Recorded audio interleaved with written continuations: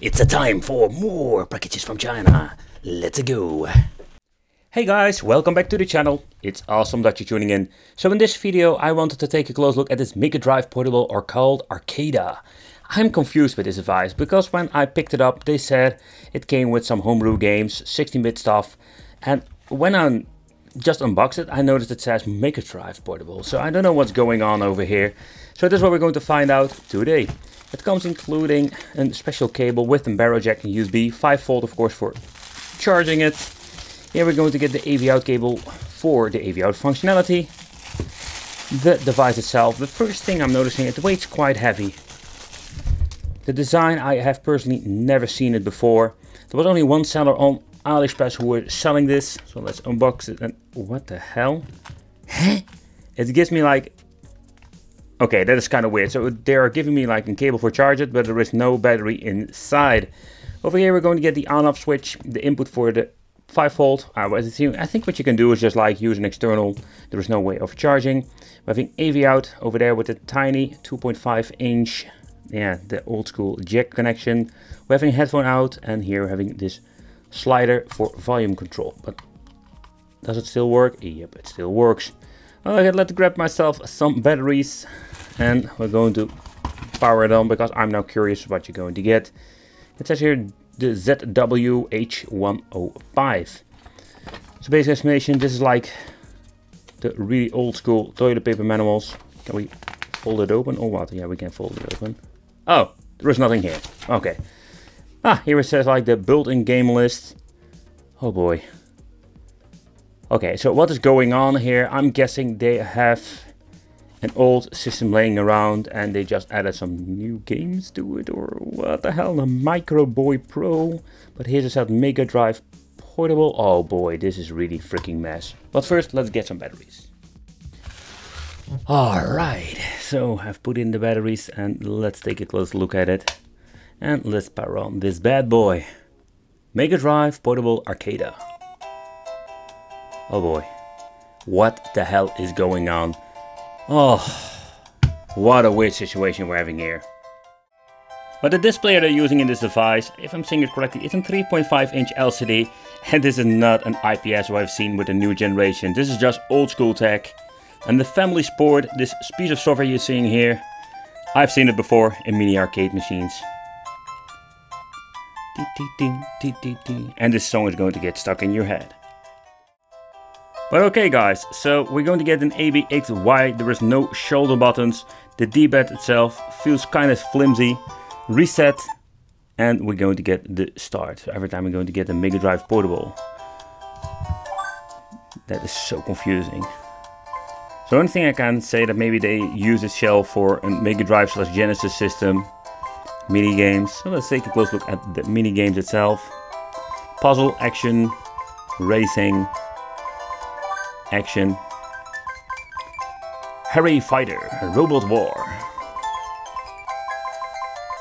Frogger.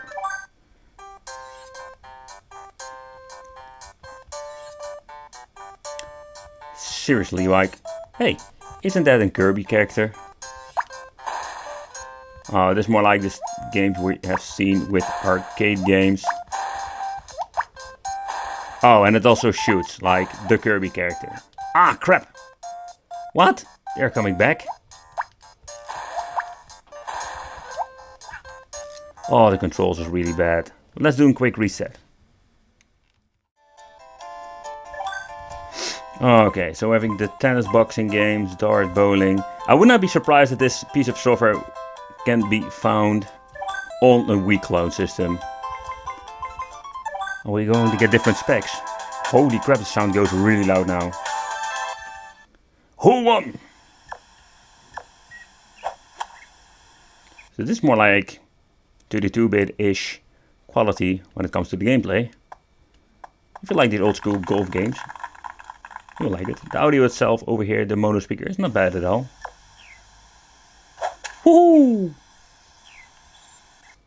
And it's, wait, oh crap. Did I just mess it up? Yep, I did. I messed it up. Oh boy, the tennis settings. Oh crap, I just chose the stage hard.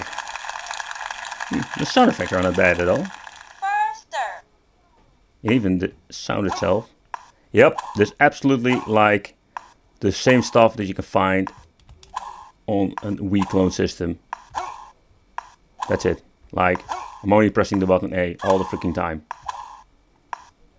I can do this all freaking day, my friend. Bring it on. Woo! Come on, come on. Yo, oh, oh crap. The most interesting ones are like the puzzle games, the mini games you get.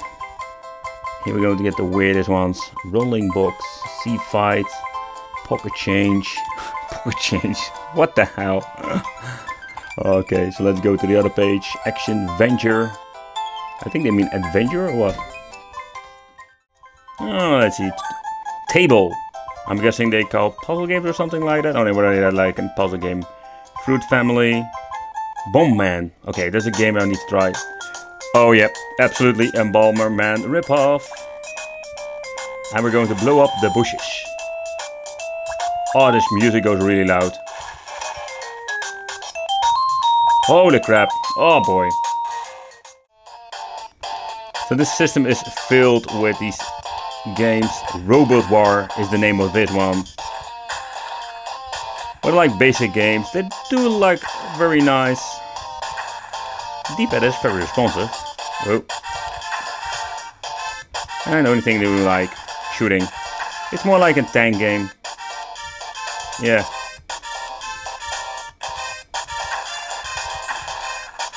I'm on the roll, baby. I'm on the roll. Come on. I'm on the roll. Come on. Woo.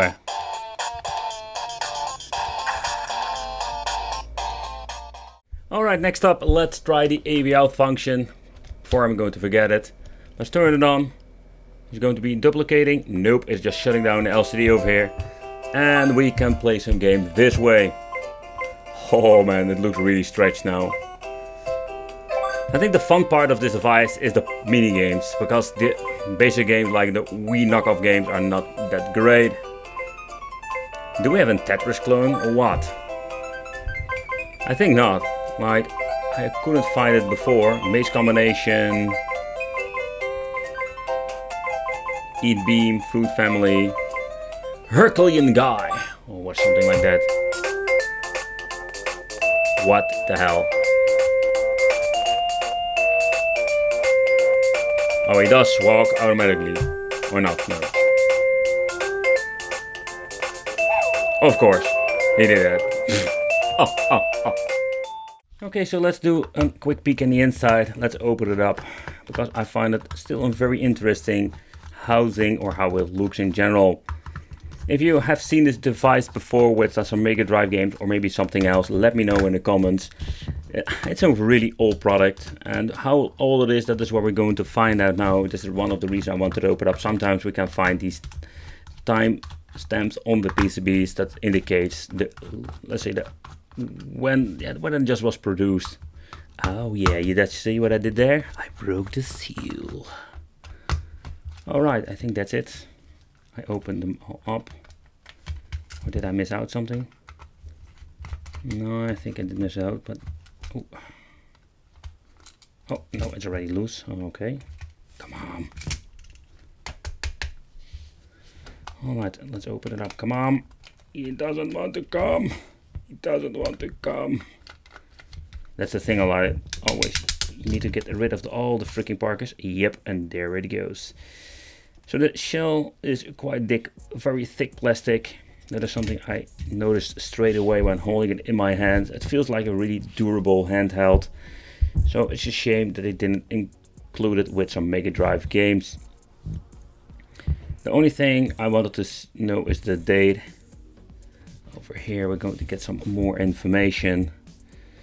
It only says the number or the type number. It is revision 1.6 over here we're going to get the wires for the speaker that's at the front. I was say like it's very loud. Some old school capacitors. The chip itself is made in Japan.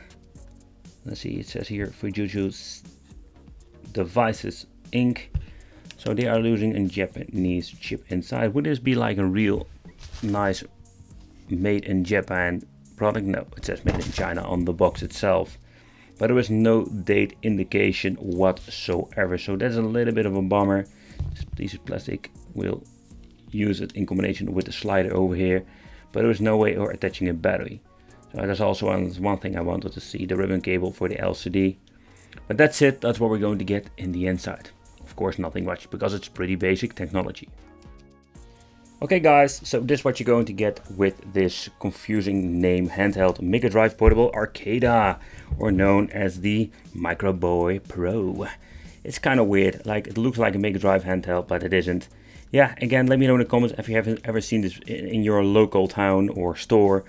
Nevertheless, it's a great product when it came with some Mega Drive game, but this is just like a really basic piece of technology this way. The games are really basic, like Wii knockoffs, all homebrew stuff, and it's not even the fighting game that I found on my arcade machine back in the day that was a rip-off of King of Fighters. I want to thank you for watching, consider subscribing, hit that little bell, become one of the Wicked family, and I will see you in the next video.